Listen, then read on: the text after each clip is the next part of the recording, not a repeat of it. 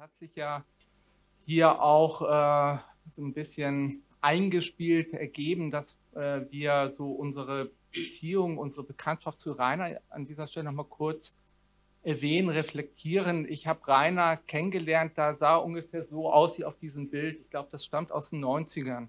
Bin 1993 nach Hamburg gekommen und äh, bin dann nichts ahnend in ein Seminar gelandet mit dem Titel zur Kontroverse zwischen Liberalismus und Kommunitarismus. Da habe ich auch dann zum ersten Mal einen Aufsatz eines gewissen Rainer Forst gelesen, in einem Sammelband, den äh, ich glaube Axel Honnet herausgegeben hat bei Campus mit dem Titel Kommunitarismus, Station einer Diskussion oder so ähnlich.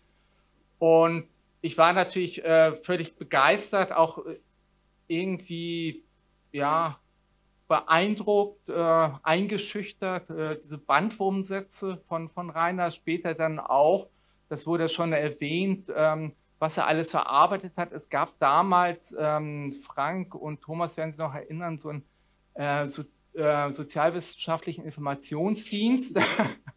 ähm, das hieß konkret, also ich habe den Job dann äh, geerbt von einem Freund von mir, ist konkret, dass ich dann so ähm, die Inhaltsverzeichnisse von sozialwissenschaftlichen, rechtswissenschaftlichen, philosophischen ähm, und was, was ich noch von Zeitschriften kopiert habe und dann an einen relativ erlesenen Kreis weitergeleitet habe.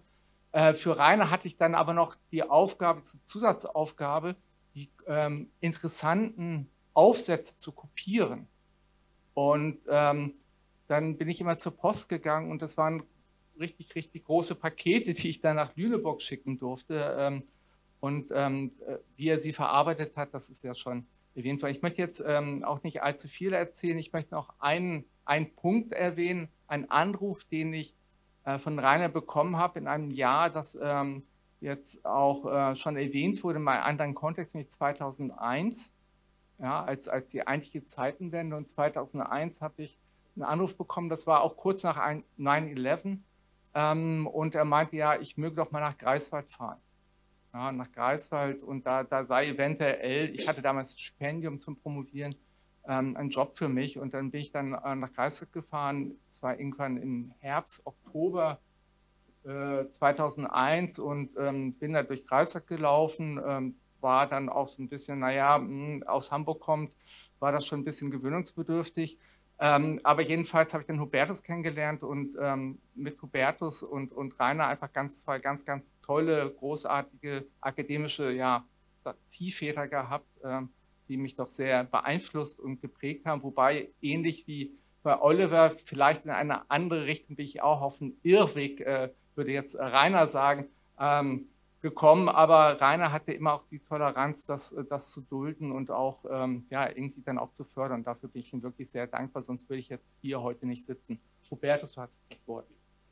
Ja, ganz herzlichen Dank. Ähm, Thema Denken in Institutionen. Das, der Titel soll thematisch dreierlei annoncieren. Zum einen, erstens, das Werk von Rainer Schmalz-Bruns dreht sich im Kern um die Problematik politischer Institutionen. Dies wiederum im dreifachen Sinne. Politische Institutionen als Steuerungsmedien, also deren externe Effekte. Politische Institutionen als gleichsam Präferenz, Waschanlage, Bürgerqualifikationspolitik, deliberative Demokratie, also die internen Effekte und politische Institutionalisierung von Reformen, politische Institutionen im Sinne eben auch von reflexiver Demokratie. Also sein Werk. Zweitens, Institutionen der Wissenschaft haben das Denken und den wissenschaftlichen Ansatz von Rainer auf besondere Weise geprägt. Und damit meine ich spezielle Institutionen der Wissenschaft und spezielle Prägungen, sein Denken über Institutionen, also in Institutionen.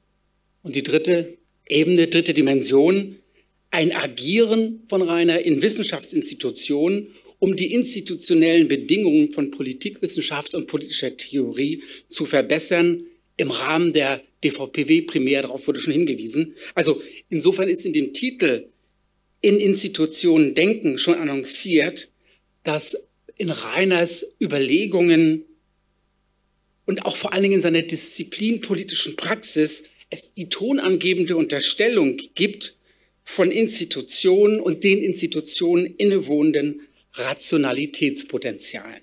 Vom Aufbau her, ich habe acht Punkte. Erstens Bundeswehr und TWT. Zweitens etwas zur Dissertation, die schon angesprochen wurde. Drittens institutionelle Förderung der Institutionentheorie. Viertens Disziplinpolitik in der Institution Wissenschaft. Fünftens ein paar wenige Worte noch zur reflexiven Demokratie. Sechstens hierarchische institutionelle Selbsteinwirkung. Siebtens Disziplinpolitik in wissenschaftssoziologischer Perspektive eine kurze Schlussbemerkung, circa 45 Minuten. Ich habe es noch nicht Probe gehalten. Ähm, es wird ein bisschen Wiederholung geben. Ich gucke mal, dann lasse ich ein paar Dinge weg, wenn ich merke, das wurde doch schon zu häufig gesagt. Und jetzt ein ernsthafter Punkt. Ich hatte vor einiger Zeit sehr heftig Corona. Also wenn ich zwischendurch Hustenanfälle kriege oder meine Vortragsaktivität etwas erlahmt, äh, bitte ich wirklich um Entschuldigung und Verständnis. Und vor allem beim Husten einfach, das kann vorkommen. Ich muss mal sehen, wie sich das entwickelt. Erstens, Bundeswehr und TBT als institutionelle Erfahrungsräume. Wissenschaft ist eine Institution, in der wir Akademiker und Akademikerinnen in langen Lern- und Disziplinierungsprozessen hineinsozialisiert werden. Bei Rainer Schmalz-Bruns sind die frühen institutionellen Prägungen neben dem Gymnasium Johanneum in Lüneburg erstens die Bundeswehr. Nach dem Abitur 1973, zwei Jahre hat er sich verpflichtet, bis zum Herbst 1975. Er nahm, darauf hat sich mich Thomas nochmal darauf aufmerksam gemacht, die Unteroffizierslaufbahn ein und anders als Pistorius, der dann ja andere Dienste machen musste, äh, war er denn doch tatsächlich auch in einer Panzereinheit dienend und hat dann eine kleine Karriere gemacht in dieser Zeit und er hat Anweisungen gegeben an die ihm Untergebenen und laut eigener Auskunft, darüber hat er mir dann ab und zu berichtet, hat er die meiste Zeit nichts Bundeswehr-Einschlägiges getan. Er hat viel im Jeep herumgesessen, wie er berichtet hat. Er hat gelesen, er hat sich Fortgebildung. Also, was hat er in dieser Institution gelernt? Er hat gelernt, institutionelle Nischen nutzen. Er hat gelernt, einen als weitgehend für ihn damals sinnfrei wahrgenommenen Betrieb zu ertragen. Und er hat drittens gelernt, dies mit Humor zu tun und mit Ironie auf solche Sinnlosigkeit zu reagieren. Danach, 1975 bis 1980, Studium für das höhere Lehramt mit den Fächern Politikwissenschaft, Literaturwissenschaft und Pädagogik in Hamburg. 1980 das erste Staatsexamen bei Joachim Raschke mit einer Arbeit, da war ich platt, ich habe das gar nicht gewusst, über Rational Choice und äh, Parteientheorie und ihm ging es um die Kritik von Rational Choice. Ich habe Rainer ja jahrelang in den Ohren, gelegen, bei der deliberativen Demokratietheorie doch auf die strategischen Komponenten darauf aufmerksam zu machen, habe mich selber auch lange Zeit in Rational Choice eingearbeitet. Er hat immer so abgewimmelt, ich habe gar nicht gewusst, dass er sich zumindest auf Staatsexamensarbeitsniveau damit auskannte. Ich war überrascht. Aber zuvor bis es dann mit seiner wissenschaftlichen Karriere weiterging, möchte ich einen anderen, einen zweiten prägenden institutionellen Erfahrungsraum erwähnen, der gleichsam konträr steht zu dem der Bundeswehr. Das ist TBT, das heißt Theorie beim T. Ich war Dozent dieser Zeit in Berlin. Wir hatten eher so TBB, also das B steht dann für Bier, das zweite. Thomas Saretzky hat mir bei der Vorbereitung ähm, meines heutigen Beitrages hat er mich mit sehr vielen Informationen nochmal versorgt und Simone Dietz, die heute nicht hier sein kann, hat auch nochmal dazu beigetragen. Also TBT, Frank, du weißt das am allerbesten, ist 1985 von Frank Nullmeier in Hamburg äh, initiiert worden. Das war ein Kreis von Menschen seiner, eurer akademischen Generation, die sich regelmäßig in Nullmeiers Wohnung in der Isestraße trafen, um beim T Theorie zu betreiben. Das existierte bis 1991, also sechs Jahre, war interdisziplinär und fast alle der damals Teilnehmenden sind später Professor oder Professorin geworden. Also in der Politikwissenschaft Frank Nohlmeier, Thomas Saretzky, Rainer Schmalz-Bruns. In der Philosophie Simone Dietz, Heiner Hastedt. In der Ökonomie Bürger Prittert. In der Soziologie Bernd Martens, Wolfgang Bohns. Was war das Programm von TBT? Klassikerlektüre Max Weber. Aktuelle Theoriedebatten Luhmann Habermas. Häufig auch Vorträge von eigenen Vorhaben der Teilnehmenden oder so ein bisschen üben für die Disputation. Und TBT hat ein informelles Netzwerk kreiert.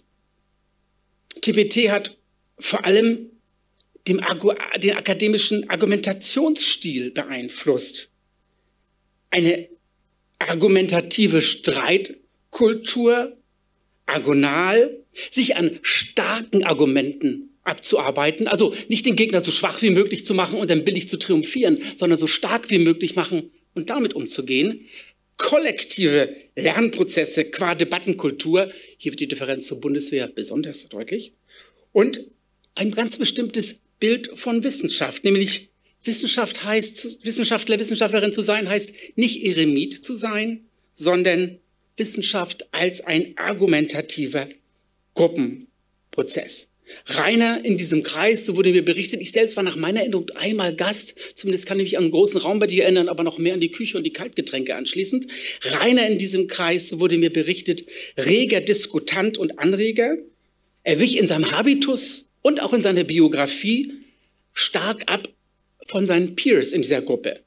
Als ehemaliger Bundeswehrsoldat, als SPD-Mitglied, ich meine, ihr wart doch in ganz anderen politischen Parteien damals, wenn überhaupt, und dann auch noch als gemäßigter Sozialdemokrat, als junger Familienvater mit 26 Jahren die Heirat mit Heidrun Bruns, 1982 die Geburt des Sohnes Oliver. Also er wich vom Habitus von allem deutlich ab.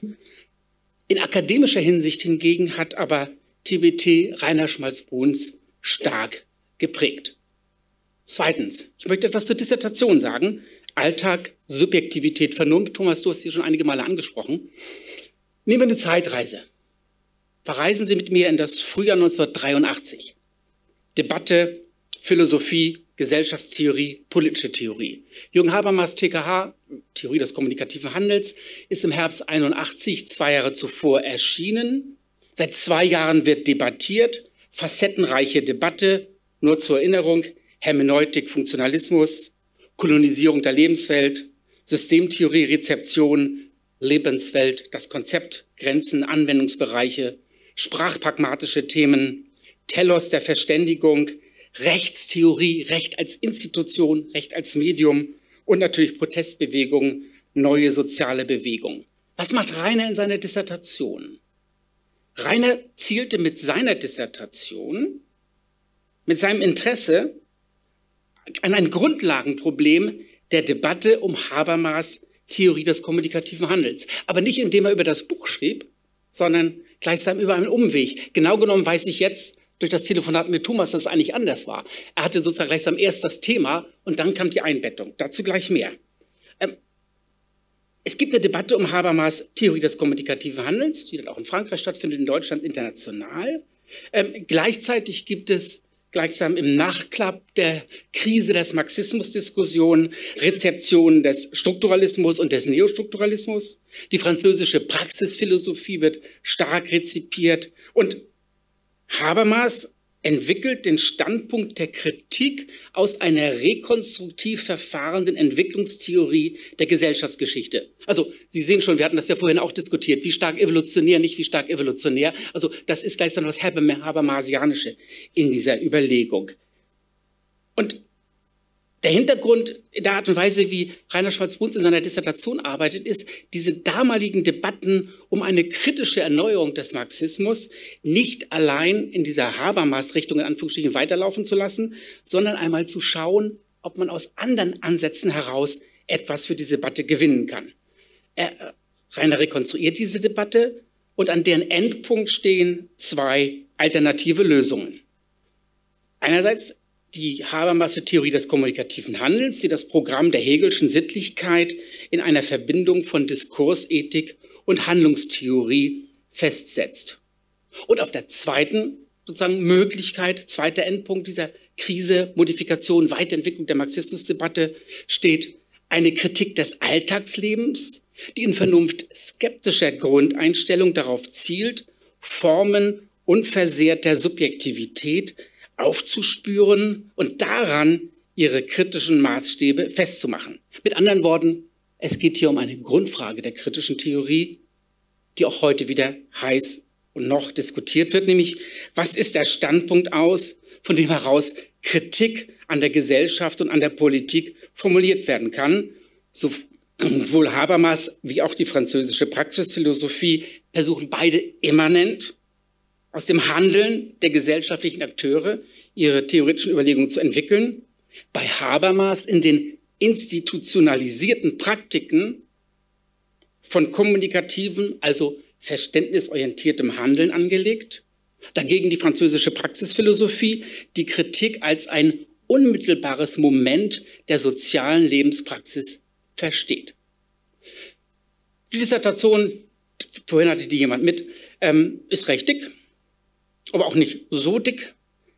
Bei den französischen Praxisphilosophen werden aus verschiedenen Modellen expressiven Handelns verschiedene Versuche übern und übernommen, hier gleichsam Kritik fundieren zu können. Und auf die French Connection äh, in Reinhards Övre werde ich später auch nochmal bei der reflexiven Demokratie aufmerksam machen. Hier ist es so, also er beginnt dann ab 1980, 81 mit der Dissertation. Äh, sie wird mit der Disputation abgeschlossen, 86 oder 87. 1989 noch etwas überarbeitet, erscheint sie als Buch. Was hat er gemacht? Er schaut sich an und rekonstruiert und beschreibt den theoretischen Ansatz, zum Beispiel, ich nenne jetzt fünf Namen, von Kostas Axelos, da geht es um die Ontologie des Spiels. Pierre Fougerola, die Psychoanalyse des revolutionären Subjekts. Edgar Morin, eine kybernetische Theorie der Subjektivität. François Châtelet, Kritik des okzidentalen Rationalismus generell und natürlich Henri Lefebvre, der auch in Deutschland am stärksten rezipiert würde, also aus der Soziologie des Alltagshandels. Und was macht Reine? Jeder bekommt ein langes Kapitel. Und beim Lesen selbst hatte ich nicht das Gefühl, das ist in Entlarvungsabsicht geschrieben worden. Nun sagte mir Thomas unlängst am Telefon, nee, nee, dem war schon relativ früh klar, das ist eine Sackgasse. Ich habe das beim Lesen noch nicht gemerkt, äh, dass das so wird. Ich hätte gedacht, dass er viel mehr sozusagen daraus macht im Sinne von ähm, eine sehr faire Darstellung, wie ich fand. Und ich meine, für alle, die wir denn Rainer kannten und kennengelernt haben, ist das Ergebnis seiner Studie letztlich keine großartige Überraschung. Also die, der Ansatz der französischen Praxisphilosophie ist eine theoretische Sackgasse, ein Plädoyer für die Rückkehr zur Habermaschen Theorie. Aber überraschend für mich bei der neuerlichen oder jetzt endlich mal genauen Lektüre seiner Dissertation war drei Punkte. A, eben wie skrupulös er sich mit den facettenreichen Details in den Werken 100 Bücher, 600 Aufsätze und Argumentation der französischen Praxisphilosophie auseinandergesetzt hat und dass eben diese Entlarvungsabsicht tatsächlich für mich nicht erkennbar war. Also da hatte ich mir die Frage notiert, wie stark waren da seine eigenen theoretischen Hoffnungen? Zweitens, wie präzise er in seiner Kritik an Habermas, also auch hier schon wieder Kritik an Habermas, die Probleme, die sich aus der rationalistischen Deutung von Intersubjektivität und Individualität in hermeneutischer Hinsicht ergeben, wie deutlich das dargestellt wird. Und dann wird gesagt wird, gucken wir doch mal, ob uns die Franzosen da weiterhelfen können. Das Ergebnis ist, nein, sie können es nicht. Aber dass dann Probleme im Habermasschen Ansatz bleiben. Und drittens schließlich der Modus der Kritik, in dem Rainer verfährt, immanente Kritik und das philosophische Motiv, individuelle Autonomie und Subjektivität normativ gegen den herrschenden Vergesellschaftsmodus auszeichnen zu wollen, dass dies in der grundbegrifflichen Umstellung von Praxistheorie auf einen emphatischen, aber eben monologisch bleibenden Begriff von Subjektivität nicht gut aufgehoben ist. Im Ergebnis kommt es, so sein Vorwurf, zu einer Dissoziation von Praxis und Gesellschaftstheorie, die nicht nur das theoretische, sondern eben auch das praktische Interesse der Praxisphilosophie und jetzt kommt so eine ganz schüchtern, nicht will ich sagen schüchtern, ganz moderate Formulierung. Ich meine, das ist ein totaler Verriss. Nochmal, die nicht nur das theoretische, sondern auch das praktische Interesse der Praxisphilosophie, jetzt kommt das Zitat, ernsthaft tangieren muss.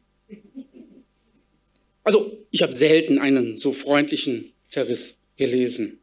Wissen, ja.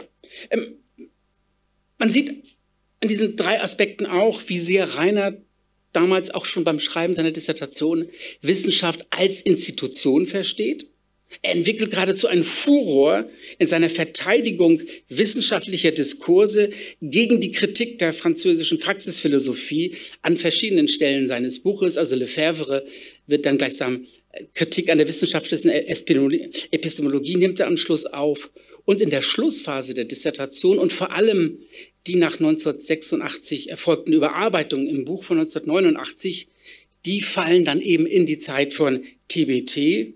Und ich hatte mir noch mal notiert, also bei der Thematisierung ähm, dieser französischen Praxisphilosophie, was wenn man reine Arbeiten ansonsten nicht so gut kennt, wirklich überraschend sein muss, dass er sich da so stark jahrelang hineinbegeben hat, spielt natürlich eine zentrale Rolle äh, Udo Bernbach, vor allen Dingen Ralf Bambach in Hamburg, Matthias Schmitz und Herbert Schnedelbach, sowie, sowie eben die TWT-Debatten über das Werk von Jürgen Habermas. Und was er dann eben macht, ist wirklich eben diese Habermas-Diskussion verfolgen, dann sich diese Franzosen anzugucken, um dann zu sagen, so geht's nicht, aber Kritikpunkte von Hans Joas und einigen anderen bleiben richtig. Dritter Hauptgliederungspunkt, institutionelle Förderung der Institutionentheorie. Die 1980er Jahre sind der Beginn einer neuen, vielleicht sogar einer ersten Professionalisierungsdebatte innerhalb der deutschen Vereinigung für, wie sie jetzt heißt, Politikwissenschaft oder DVPW. Das hat die Fachvereinigung nicht freiwillig gemacht, sondern der Druck ging aus von Studienreformdebatten auf Bundesebene. Ich kann mich noch gut erinnern, mein erster Kongress war nicht 1979, sondern mein erster Kongress war 1982, äh, der Berliner Kongress. Ich habe das als ein reines, als eine desaströse Veranstaltung in Erinnerung.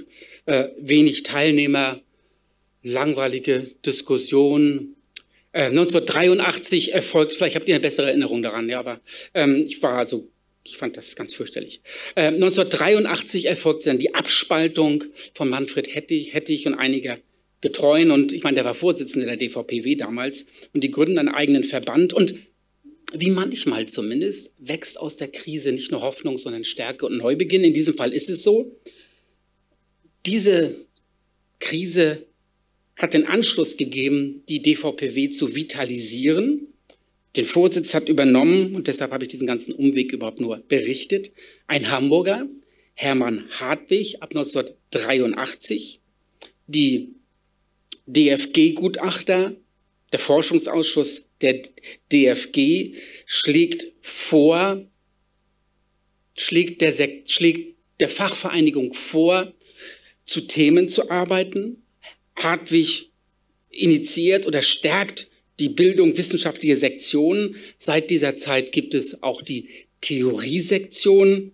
Udo Bernbach, Gerhard Göhler vor allen Dingen, ähm, in äh, Bernbach aus Hamburg wiederum sind hier die Initiatoren und Administratoren. Und 1985 beginnt die Theoriesektion der DVPW mit Vorhaben, mit dem Vorhaben bei der Deutschen Forschungsgemeinschaft ein Schwerpunktprogramm, wie es damals hieß, Theorie politischer Institutionen vorzubereiten.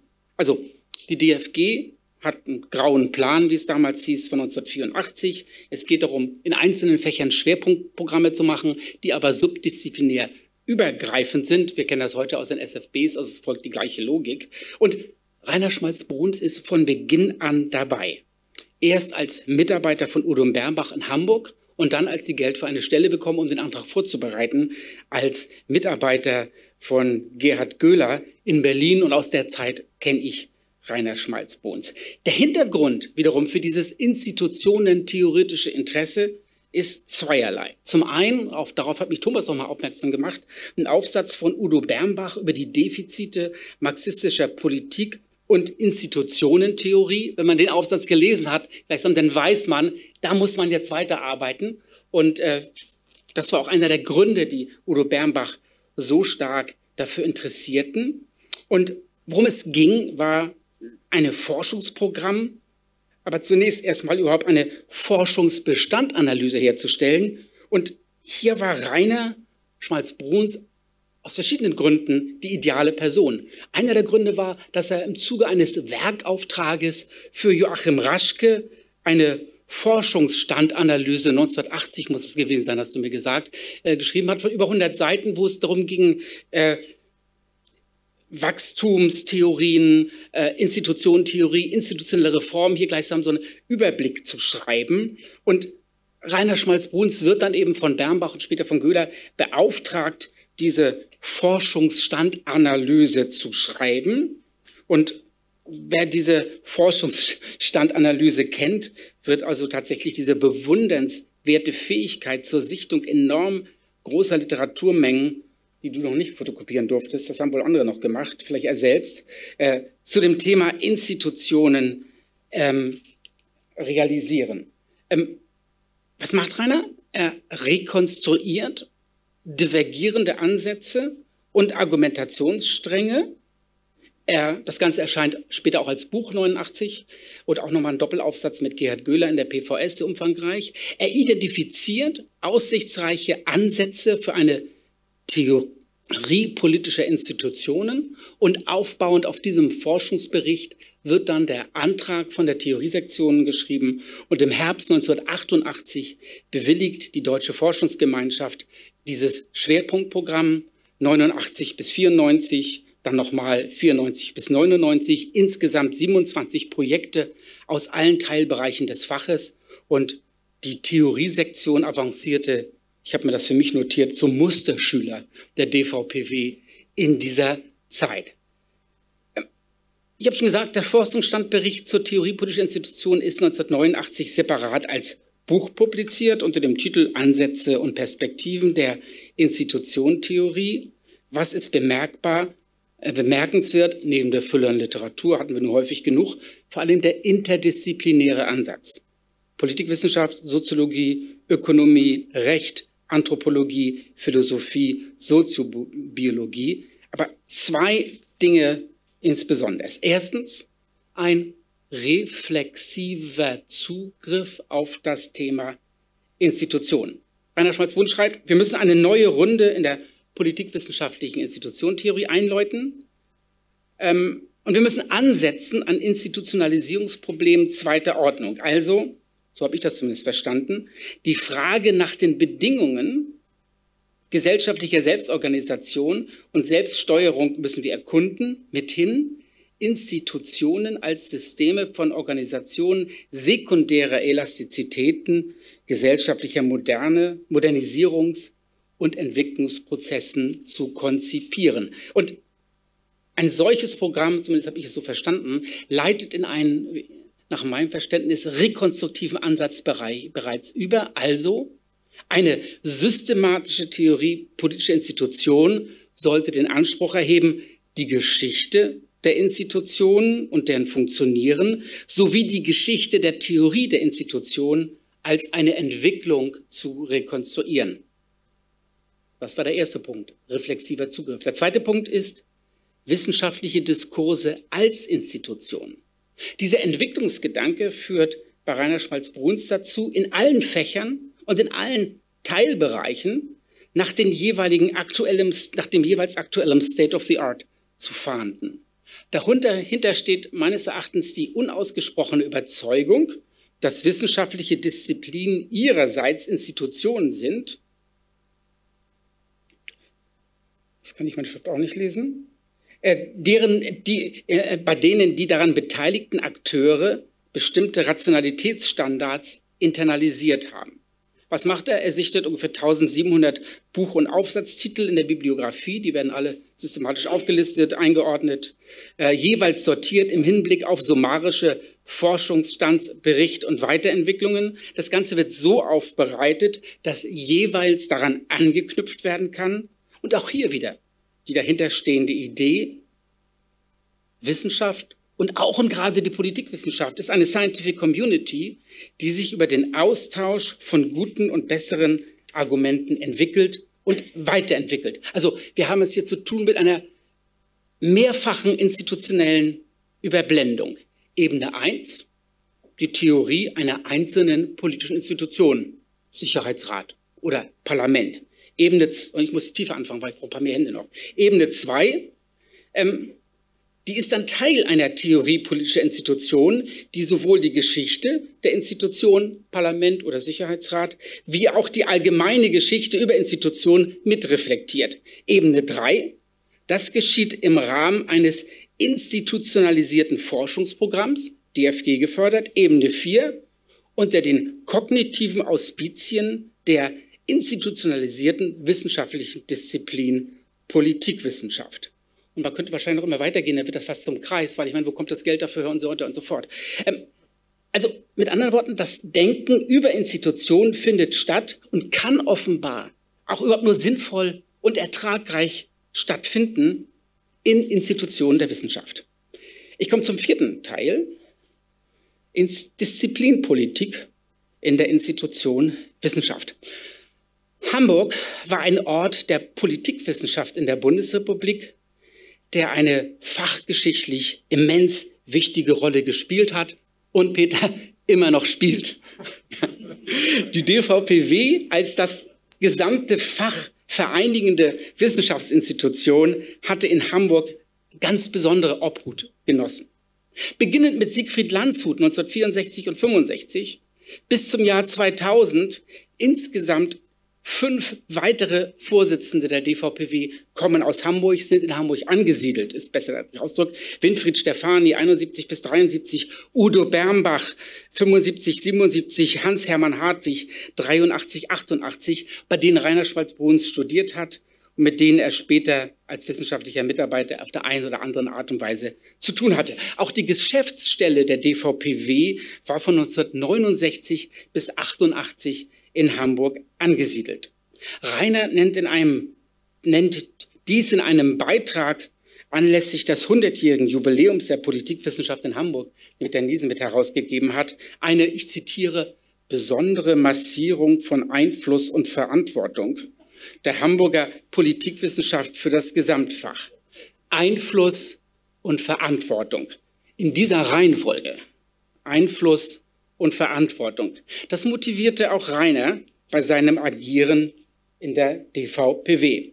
Worum es Rainer also dabei ging, ist von Frank Nullmeier in seinem Beitrag zur Gedächtnisschrift an Rainer bezeichnet worden als Disziplinpolitik. Damit ist gemeint die Sorge um das Fach, die Fachdisziplin, die bewusste Verbesserung der Subdisziplin politische Theorie und Ideengeschichte innerhalb des Faches, die Sicherung von Ressourcen und damit natürlich auch immer das konkrete Interesse an wissenschaftlichen Karrieren und Beschäftigungsabsicherungen. Rainer sah in den institutionellen Zusammenhängen der Sektion politische Theorie und Ideengeschichte der DVPW den Garanten für die erfolgreiche Existenz theoriezentrierten Denkens und Arbeitens in der Politikwissenschaft. Er war Verfechter einer proaktiven Disziplinpolitik, das heißt auch einer transformatorischen, die sich nicht in selbstgerechte Selbstisolierungen flüchtet, sondern eine Disziplinpolitik, die die Anschlussmöglichkeiten zu den anderen Teilfächern der Politikwissenschaft sucht. Und wir haben ja schon vorhin im Bereich IB gehört, äh, zu welcher Blickerweiterung, Blickverdoppelung das geführt hat. Sein Buch von 1989 über Institutionen, das ich schon erwähnt hatte, zeigt auf, was dies auf der kognitiven Ebene bedeutet. Auf der sozialen Ebene von Wissenschaft, Engagement in bestehenden Wissenschaftsorganisationen. Dahinter stand die feste Überzeugung, dass es robuster Institutionen bedarf, innerhalb und mittels derer politikwissenschaftliches Nachdenken und Forschen überhaupt nur stattfinden kann. Die Leistungserwartungen an Wissenschaft als Institution waren in Schmalzbruns Überzeugung dreierlei. Nach außen Freiräume abschirmen, innerhalb derer der wissenschaftliche Diskurs argumentationsgestützt laufen kann. Nach außen ebenfalls die Wissenschaft gegenüber anderen Teilbereichen repräsentieren, aber sie auch mit Ansprüchen konfrontieren, aber auch wiederum Angebote zu machen. Und drittens, nach innen steuernd eingreifen in die Reproduktion des wissenschaftlichen Personals, Standards definieren und durchsetzen. Also ein vielfaches disziplinpolitisches Argument. Ich habe mir fünf kleine Punkte genannt. Also Rainer Schmalz-Bruns in der Theoriesektion von Beginn an 83, 84 dabei, zwölf Jahre im Vorstand der Sektion, äh, 97 bis 2003 leitet er die Sektion, langjähriger Herausgeber der Schriftenreihe der Theoriesektion. Zweite, Vorstand der DVPW 2000 bis 2003 war er im Vorstand der DVPW. Drittens die PVS von 2010 bis 16, geschäftsführender äh, äh Redakteur der PVS. Und sein Ziel, so einem Interview aus der Zeit, er wollte schaffen und verstärken ein Organ der Selbstverständigung, äh, einer zentrifugalen Kräften, äh, von zentrifugalen Kräften bestimmten Fachöffentlichkeit, also Selbstverständigung hier zusammenzuziehen. Das Selbstverständnis von Rainer Schmalz-Bruns in solchen institutionellen Kontexten bestand dann wiederum immer primär im Austausch mit anderen und, wie er das auch im Interview formulierte, wechselseitige Wahrnehmung und Wahrnehmungen erhöhen. Viertens, nochmal zur Massierung von Einfluss und Verantwortung. Einfluss als Gutachter für die DFG, Einfluss als Gutachter für Professurbesetzungen und ich will gar nicht sagen vor allem, aber auch äh, informelle Einflussnahme in Gesprächen und Telefonaten. Fünftens, Beteiligung an Ausarbeitungen des Frankfurter Studienganges Politische Theorie. Ähm, Rainer, du hast schon darauf hingewiesen. Primäres Motiv für diese immensen disziplinpolitischen Engagement in diesen fünf Teilbereichen war politische Theorie innerhalb der Politikwissenschaft stärken und die Politikwissenschaft stärken durch Verbindung mit einer auf theoriesystematische Fragen konzentrierten Politikwissenschaft. Also systematisches Theorieinteresse bei Rainer hieß dann auch immer Suche nach konstruktiven Synthesen aus gesellschaftstheoretischen, sozialphilosophischen, begrifflichen und genuin politikwissenschaftlichen Perspektiven. Und Ausdruck dieses auf die gesamte Disziplin Politikwissenschaft sowie ebenso sehr interdisziplinär ausgreifenden Theorieinteresses waren auch seine Gastaufenthalte im Wissenschaftskolleg Berlin 2002-3, ähm, im Bad Homburg, darauf wurde schon hingewiesen, oder am WZB 2013. Fünftens, reflexive Demokratie. Jetzt geht's los mit der Stimme.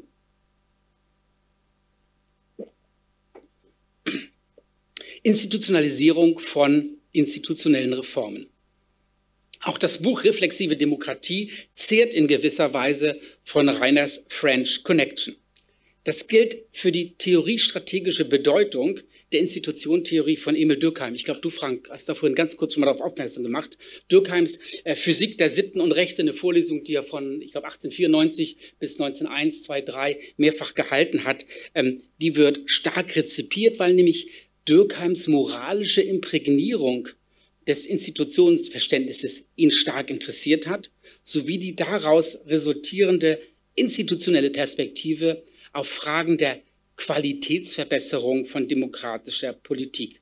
Dürkheim entnimmt Rainer in dem Buch Reflexive Demokratie auch den Gedanken der in den Institutionen angelegten Reflexionspotenziale, also der zivilisierende Effekt von Institutionen, für die in, in ihnen agierenden und für die internen Diskussions- und Reflexionspraktiken. Also insofern gleichsam, ähm, Franziska, natürlich ist da schon Konflikt und all das mitgedacht. Es ist aber eben auch gedacht, dass institutionelle Praktiken die Möglichkeit bieten, vom antagonistischen zum zumindest agonalen, argumentativen überzugehen. Von Dürkheim aus erfolgt dann der Zugriff auf Jewish Pragmatismus, auf Kommunitarismus und Republikanismus-Diskussionen, auf die Debatten über Civil Society, natürlich Habermas Faktizität und Geltung und die Kritik daran und weitere Themen. Stilistisch gesehen ist das Buch keine werbende Einladung zur einfachen Lektüre. Es liest sich nicht nur wie eine Montage aus Einzelstudien, sondern es war auch eine. Also ich hier höre Hegel, zumindest die Produktionsbedingungen waren extrem unhegelianisch und das lag nicht nur an dem Keller, in dem Er saß und schrieb. Rainer war kein Meister der Monographie. Sein Medium war der wissenschaftliche Aufsatz, doch nicht der freihändisch argumentierende Aufsatz, sondern Abhandlungen, die sich über weite Strecken lesen wie Literaturberichte.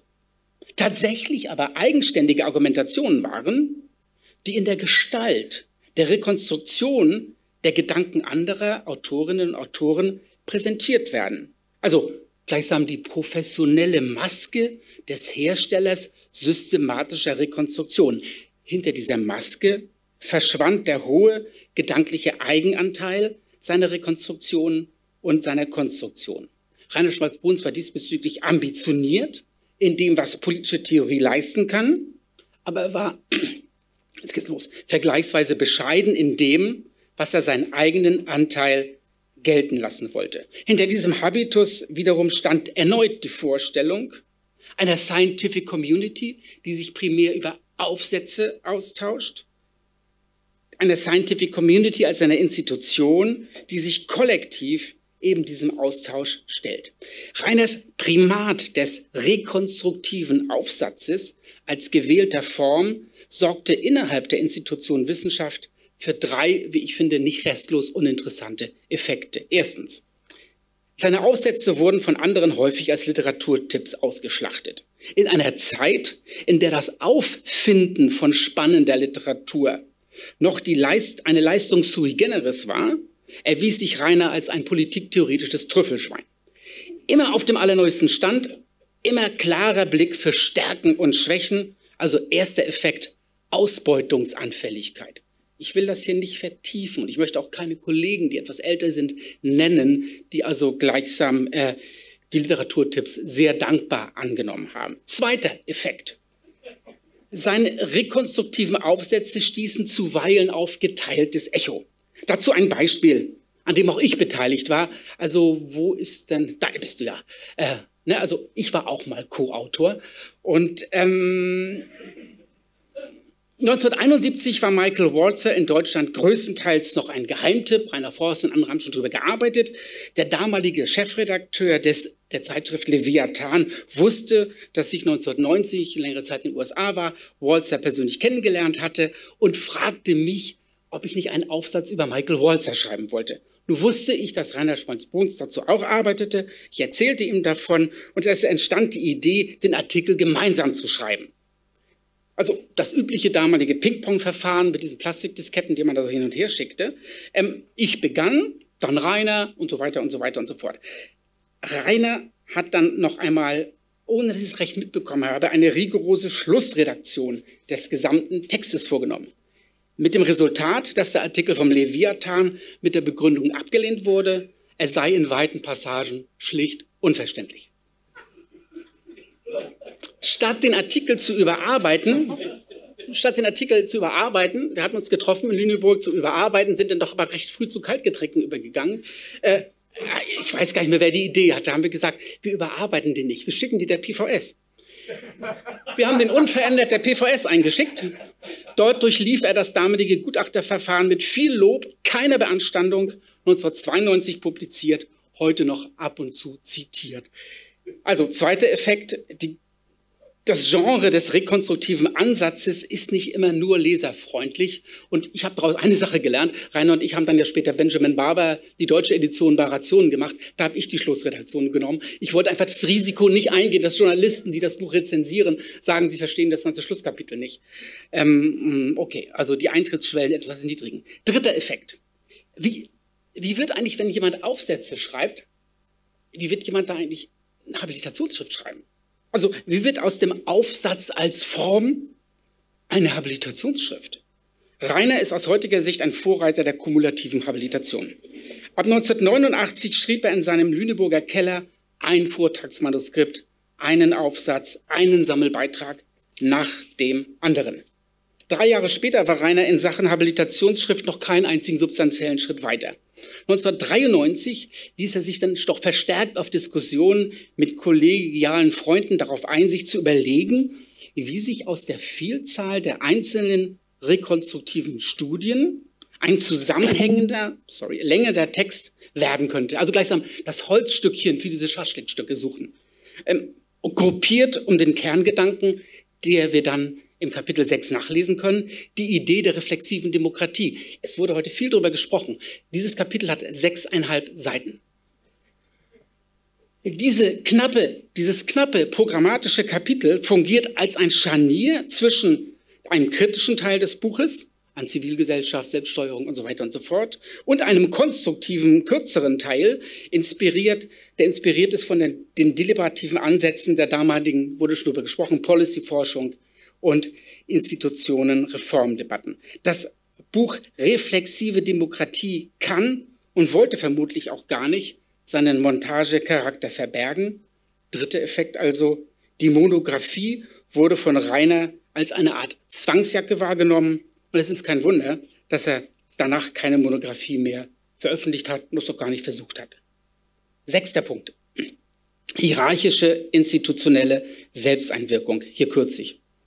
Neben der Neben den bereits von mir genannten Themen, französische Praxistheorie, Institutionentheorie, reflexive Demokratie, hat sich Rainer, darüber wurde ja im zweiten Panel gesprochen, in seinen Aufsätzen mit Themen befasst, bei denen er sein Interesse an systematischer Theorieproduktion am besten aufgehoben sah und dies auf andere Themen ausweitete. Peter Niesen hat in seinem Nachruf darauf aufmerksam gemacht, dass Rainer immer dann zu Hochform aufgelaufen ist, wenn es um das kritische Zwiegespräch ging. Das betrifft zum Beispiel in seiner schon erwähnten Kritik an Michael Walzer, in seiner Kritik an Münklers Neorealismus. Ich hätte so gern gewusst, was Rainer heute Nachmittag dazu gesagt hätte und was er dazu gesagt hätte, wenn jemand aus dem Publikum gesagt hätte, das hat doch Münkler früher schon gesagt, wie er da repliziert hätte. Ach, das hätte mich gefreut. An Gerhard Göhlers Institutionentheorie, an MTG, an Michael T. Grevens Konzept der politischen Gesellschaft oder an der Auseinandersetzung mit Heidrun Abromeits Arbeiten zur europäischen Demokratie und immer wieder Jürgen Habermas. Defizite im Habermasschen Handlungsmodell, Kritik nicht weit genug gehender Demokratietheorie in Faktizität und Geltung, so in reflexiver Demokratie und schließlich eben auch in diesen späteren Schriften, vor allen Dingen auch zur internationalen Politik, Kritik an der mangelhaften institutionellen Verbindlichkeit in Habermas Schriften zur postnationalen Konstellation. In Reiners Schriften zum Thema Demokratie unter den Bedingungen der Globalisierung, die er ab 1997 in seiner Darmstädter Zeit angefertigt hat, wird erneut, nach zumindest meiner Lektüre, der institutiontheoretische Zugriff besonders deutlich. Ein Beispiel dafür ist seine kritische Analyse mit Habermas Modell einer Weltinnenpolitik ohne Weltregierung.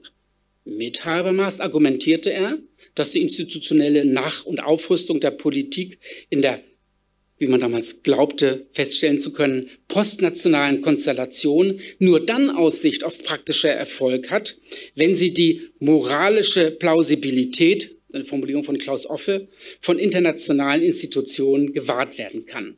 Und mit Habermas sucht er nach einer Lösung, bei der negative Rückkopplungseffekte einer ersatzlosen Entwertung des demokratischen Rechtsstaates vermieden wird.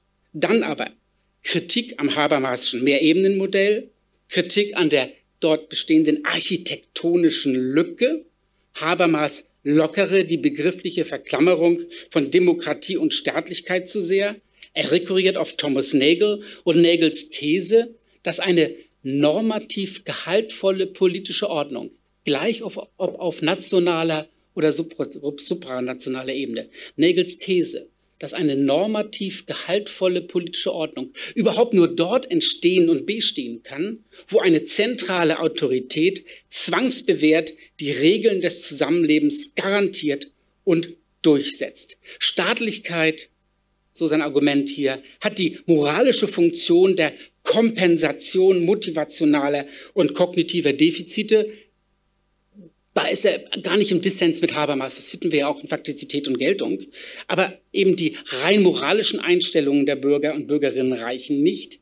Staatlichkeit ist etwas, was sowohl als Rahmen als auch als Medium der normativen Integration von Bürger und Bürgerinnen unabdingbar ist. Und die Formel, die er dafür verwendet, ist hierarchische Selbsteinwirkung. Das wird dann zum Schlüsselbegriff.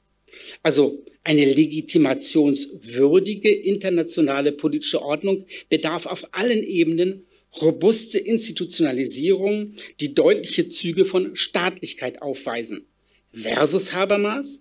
Habermas unterschätzte die Notwendigkeit von Staatlichkeit in seinem Modell und Schmalz-Bruns markiert damit die begrifflichen Grenzen von Entstaatlichung des globalen Konstitutionalisierungsprozesses, konstruktiv Überlegungen in Richtung einer reflexiven Globalstaatlichkeit. Habermas hat bekanntlich ausführlicher reagiert auf diese Kritik von Rainer.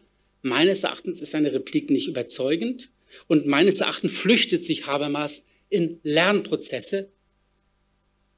Naja, aber Rainer Schmalz-Bruns setzt ja auch auf Lernprozesse, aber dazu ein späterer Satz noch. Das ist auch ein anderes Thema. Mir ging es hier darum, die zentrale Bedeutung der Formel institutionelle hierarchische Selbsteinwirkung der Gesellschaft auf sich selbst herauszustellen in seinen Überlegungen zur IB. Denn sie bilden den Hintergrund seiner Überzeugungen, dass auch die Europäische Union auf allen Ebenen zumindest einer minimalen staatlichen Struktur bedarf, dass auch kontestative und kommunikative Governance-Modelle Staatlichkeit nicht ersetzen können. Und ich habe mir schon, bevor es heute Vormittag, hätte ich jetzt auch fast gesagt, in dem ersten Panel diese Diskussion äh, gab, als Schlusssatz hier notiert, Rainer Schmalz-Bruns als deliberativer Etatist. Siebtens, Disziplinpolitik in wissenschaftssoziologischer Perspektive.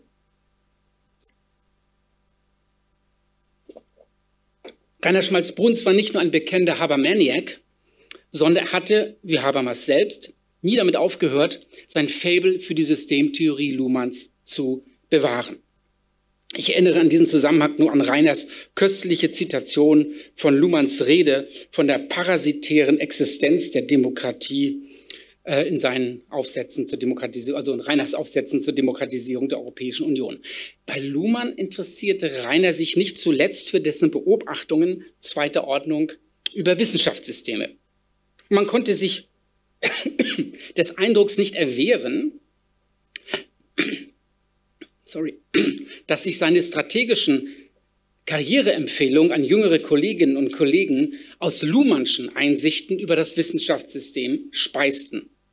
Auch wenn Rainer dazu nichts publiziert hat, zu Wissenschaft als System, Politikwissenschaft als Subsystem, ähm, hatte er ein bleibendes Interesse an wissenschaftssoziologischen und Wissen, wissenssoziologischen Fragen. Und in meinem zusammen mit Dirk Jörke geschriebenen Beitrag für die Gedächtnisschrift für Rainer ähm, habe ich berichtet, dass ich mit Rainer in diesem Zusammenhang über Richard Whitleys Wissenschaftssoziologie diskutiert habe. Was hat Whitley in seinem, wie ich finde, bis heute immer noch fast unübertroffenen Buch The Intellectual and Social Organization of the Sciences von 2000 gemacht? Whitley schlägt eine Kategorisierung der institutionellen Differenzen zwischen verschiedenen Wissenschaftsdisziplinen vor. Whitley verbindet dabei wissenschaftstheoretische Konzepte wie die von Thomas Kuhn, Karl Mannheims Wissenssoziologie mit empirischen Forschungen aus den Bereichen der Arbeitssoziologie und der Managementtheorie. Und die Kategorisierung, die er daraus entwickelt, ähm, basieren auf zwei fundamentalen Unterscheidungen. Erstens, Wissenschaften haben es zu tun mit Task Uncertainties. Task Uncertainties. Und hier die erste zwei Unterscheidung in diesem ersten Punkt. Die kann technischer Art sein, das heißt der Grad an Gewissheit, die man in technischer Hinsicht für seine Forschungsergebnisse haben kann. In Chemielaboren relativ hoch, in Grenzproblemen der Mathematik niedrig. Und zu dieser Task Uncertainty gibt es neben der Technical die Strategic Task Uncertainty. Damit ist gemeint, der Grad an Gewissheit über die erwartbare Resonanz der wissenschaftlichen Resultate innerhalb der Scientific Community. Neben diesen Uncertainties ist die zweite fundamentale Kategorie, die ebenfalls wieder in zwei aufgespaltet wird, Dependence. Functional Dependence, das ist die Verlässlichkeit der methodischen Standardisierung. Und Strategic Dependence, das ist das Vertrauen dass Wissenschaftler und Wissenschaftlerinnen in die Reputation ihrer jeweiligen Fachkollegen und Fachkolleginnen setzen müssen, können, wollen. In allen vier Bereichen gibt es, so Whitley, erhebliche graduelle Unterschiede zwischen den Wissenschaftsdisziplinen.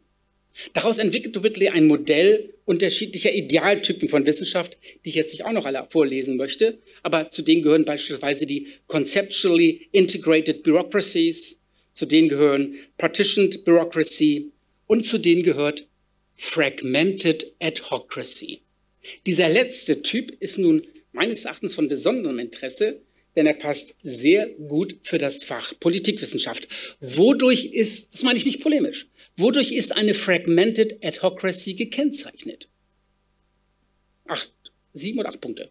Vergleichsweise hoher Binnenpluralismus, Offenheit für außerwissenschaftliche Einflüsse, unterschiedlich stark ausgeprägte Spezialisierungen, Latenz von methodologischen Generaldebatten und fachlichen Kontroversen, schwach konturierte subdisziplinäre Identitäten, begrenzte und häufig nur temporäre Forschungskoordination, Platz für persönlich motivierte und für manche Kolleginnen als idiosynkratisch anmutende Forschungsagenten. Diese aufgelisteten Kennzeichen bestehen also aus einer komplexen Mischung aus sozialen und kognitiven Faktoren. Und wenn meine Einordnung des Faches Politikwissenschaft als eine fragmented Adhocracy nicht völlig unplausibel erscheint, was bedeutet das im Hinblick auf die von Rainer Schmalz-Bruns betriebene Disziplinpolitik? Also, also eine Variante könnte ja die sein, dass man sagt, na ja, wir versuchen so wie die Naturwissenschaftler zu werden. Wir werden so eine Bureaucratic irgendwas. Das ist eine Variante. Also aus reiner Sicht ist klar, die Chancen sollen wir nutzen, die eine weitere Professionalisierung bietet. Und die Chancen sollen wir nutzen und ausbauen, ähm, mit den anderen Subdisziplinen intensiv in Austausch zu kommen. Und ausgerechnet auf diesem Gebiet hat Rainer auch Enttäuschung erlebt. Man muss dazu sagen, dass Rainer in seinem disziplinpolitischen Agieren sowieso nicht zum Typus des machtbewussten und permanent erfolgreichen Akteurs gezählt hat. Und das habe ich fast am meisten an ihm gemocht. Ähm, das hat ihn aus meiner Sicht sogar noch sympathischer gemacht. Er war zu klug und er war einfach zu ironisch, um sich auf permanent erfolgreiche Machtpositionen, sich darauf etwas einzubilden. Die Liste seiner Erfolge ist sehr lang, aber ich möchte auch mal kurz einige Misserfolge und Enttäuschungen nennen. Zum Beispiel sein Agieren am Institut für Politikwissenschaft in Hannover, dazu sage ich ohne Anwalt einfach nichts. 2015 äh, seine Beteiligung am Versuch, die DVPW umzukrempeln, krachend auf der MV gescheitert. Das hätte man doch anders vorbereiten können. Also wir, wir streiten uns das nicht, Frank, bitte heute. Ne? Äh, ja, aber das hätte man doch ein bisschen anders vorbereiten können. Leute, gerade Leute, die von sich behaupten oder denken, dass sie so tolle Strippenzieher sind, die ziehen doch da ein bisschen geschickter und reden und machen.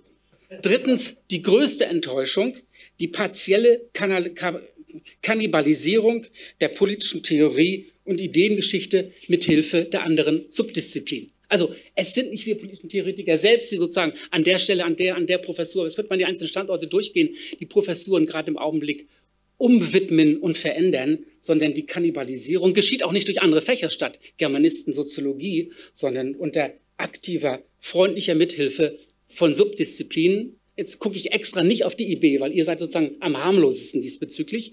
Ähm, und ähm, das ist etwas, äh, was Reiners Grundidee im engen Austausch mit den Subdisziplinen uns noch stärker zu machen, zu einer wirklich großen Enttäuschung geführt hat. Schlussbemerkung, ganz kurz. Heute, drei Jahre nach Reiners Tod, erleben wir eine Forcierung in den Veränderungen der theoriepolitischen Landschaft.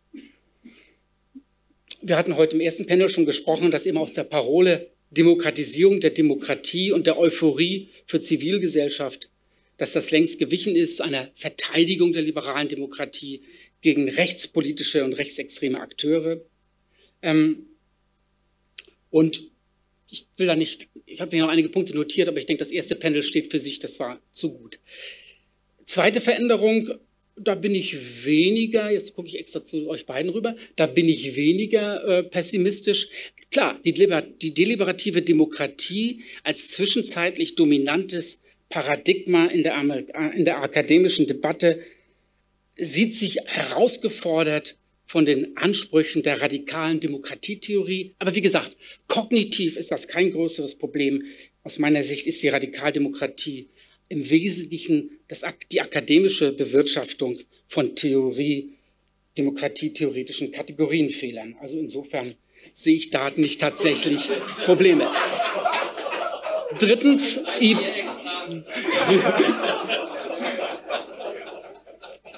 Drittens, IB, darüber wurde heute am Nachmittag auch gesprochen. Und hier denke ich allerdings, wir hatten das im Flurgespräch vorhin auch, durch, gleichsam, wenn man da etwas stärker konstruktivistische Ansätze hineinnimmt, würde das vielleicht gehen. Aber mein Punkt am Schluss ist eigentlich der, vielleicht sind es weniger die konkreten Inhalte, in denen Rainer als Vorbild in der Erinnerung bleiben kann, sondern vielleicht ist es der Modus seiner Rezeption von Fachliteratur. Wenn Sie als kleiner jüdischer Junge in die Talmudschule gehen und wenn Sie das Glück haben, einen guten Rabbi zu treffen, dann sagt Ihnen der Rabbi Folgendes. Es gibt vier Typen von Lesern und Leserinnen, aber da sind es dann immer nur Leser. Den Schwamm, der saugt alles auf, aber so richtig viel kommt da nicht mehr raus. Der Trichter, da läuft ganz viel rein und läuft im Strahl wieder raus. Dann Leinentuch seilen. Leinentuch seilen mit EI. Sie drücken das zusammen, der gute Wein läuft raus und sie haben nur diesen, diesen, diesen Traubenmatsch in der Hand. Und dann gibt es das spezielle Sieb. Das spezielle Sieb, in dem Hängenbleiben aus dem Ganzen, was man da so durchgesiebt hat, die guten, interessanten Brocken. Da ist dann die Theorie Nuggets. Das habe ich immer in Rainer Schwarz-Bohls bewundert und ich danke mich für Ihre Aufmerksamkeit.